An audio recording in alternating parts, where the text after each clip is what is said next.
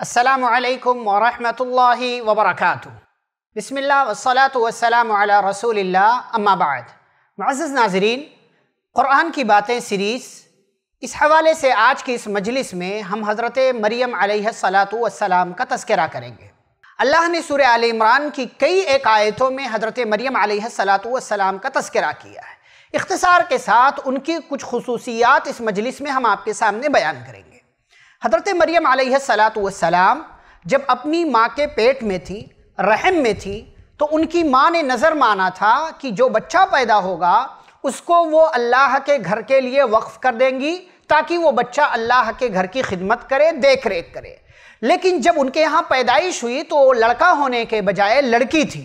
تو حضرت مریم علیہ السلام کی ماں نے اللہ کے سامنے یہ بات رکھی کہ اللہ میں نے لڑکی پیدا کیا ہے، میری نیت کچھ اور تھی، لیکن ہو کچھ اور گیا ہے۔ لیکن اس کے باوجود انہوں نے کیا کہا؟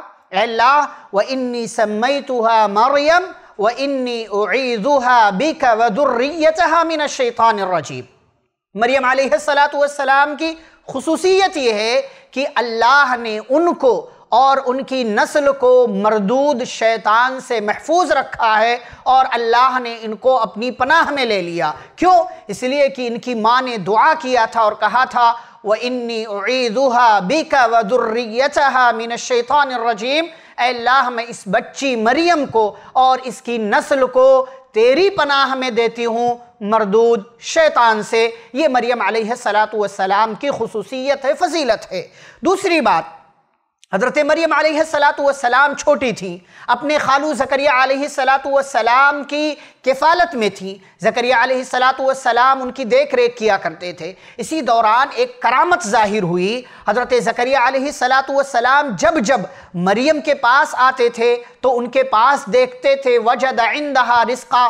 طرح طرح کی چیزیں ملتی تھی جن کو لا کر کے زکریہ علیہ السلام نے نہیں دیا ہوا تھا۔ سوال کرتے تھے کہ اے مریم، انا لکی ہادا یہ تمہارے پاس کہاں سے آیا؟ قالت، ہوا من عند اللہ. تو مریم کہتی تھی کہ یہ اللہ کے پاس سے آیا ہے۔ یعنی ایسا پھل جو اس موسم میں دستیاب نہیں ہوتا تھا، لیکن اللہ کی طرف سے مریم علیہ السلام کو مل جایا کرتا تھا۔ زکریہ علیہ السلام نہیں دیتے تھے، اللہ انتظام کر دیتا تھا۔ یہ مریم علیہ السلام کی کرامت ہے جو بچپن میں ظاہر ہوئی۔ ایسے ہی حضرت مریم علیہ السلام کی خصوصیت یہ ہے کہ اللہ نے ان کو چن لیا، ان کو منتخب کر لیا تھا۔ اللہ نے فرمایا، وَإِذْ قَالَتِ الْمَلَائِكَةُ، يَا مَرْيَمُ، إِنَّ اللَّهَ اصْطَفَاكِ وَطَهَّرَكِ وَاصْطَفَاكِ عَلَى نِسَاءِ الْعَالَمِينَ۔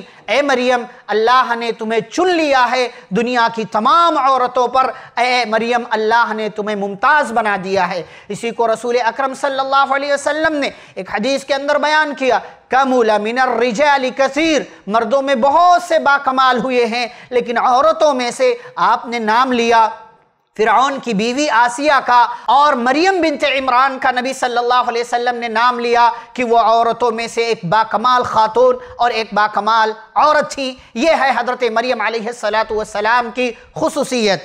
چوتھی خصوصیت، اللہ نے ان کی پاک دامنی کا اعلان کیا۔ یہودی یہ الزام لگاتے تھے کہ نعوذ باللہ، مریم علیہ السلام نے زنا کیا اور اسی کے نتیجے میں عیسیٰ علیہ السلام کی پیدائش ہوئی۔ اللہ رب العالمین نے مومنوں کے لیے مریم بنت عمران کی مثال ذکر کرتے ہوئے کہا، وَمَرْيَمَ ابْنَةَ عِمْرَانَ الَّتِي احسنت فرجہا کہ مریم بنت عمران وہ خاتون ہیں کہ جن کی پاک دامنی کا اللہ نے اعلان کرتے ہوئے کہا کہ انہوں نے اپنی عزت کی، عصمت کی، اور انہوں نے اپنے وقار کی حفاظت کی، اور انہوں نے زناکاری، بدکاری جیسا کوئی غلط کام نہیں کیا۔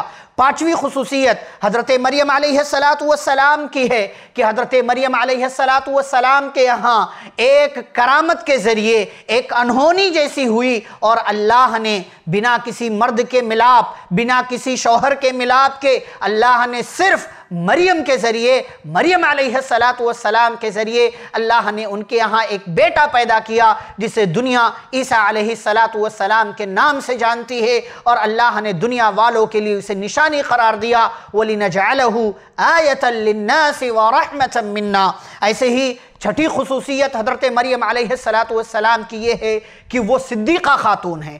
عورتوں میں سے کوئی نبی تو نہیں ہوا، لیکن انبیاء اور رسولوں کے بعد صدیقین کا سب سے اونچا مقام ہوتا ہے۔ یہ مقام حاصل کیا حضرت مریم علیہ السلام نے۔ جیسا کہ اللہ نے فرمایا وَأُمُّهُ صِدِّيقَ عیسیٰ علیہ السلام کی ماں مریم صدیقہ تھی، سچی خاتون تھی۔ اللہ رب العالمین کی سچی اور حقیقی بندی تھی۔ ساتویں اور آخری خصوصیت اس مجلس کے حوالے سے حضرت مریم علیہ السلام کی یہ ہے کہ جب وہ درد ذہ کی تکلیف میں تھی، جب ان کے یہاں پیدائش ہونے والی تھی، حضرت عیسیٰ علیہ السلام کی ان کے بچی کی پیدائش ہونے والی تھی، وہ پریشان ہوئی، اپنے آپ کو کوسنے لگی، ایسی صورت میں اللہ نے ان کے لیے تسلی کے الفاظ کہے، فناداها من تحتها اللہ تحزنی مریم گھبراؤ نہیں، قد جعل ربو کی تحت کی سریہ تمہارے رب نے تمہارے پاس پینے کے لیے پانی کا انتظام کر دیا ہے۔ وہ حزی علیہ کی بجزع النخلہ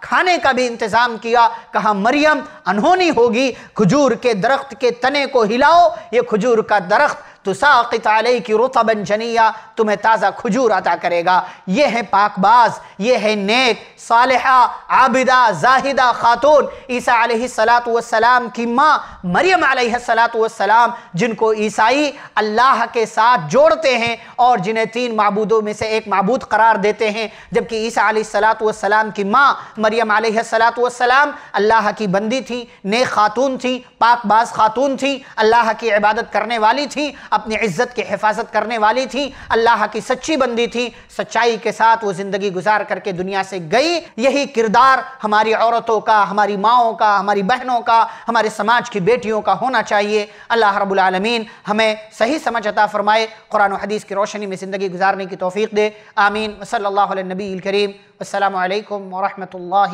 وبرکاتہ۔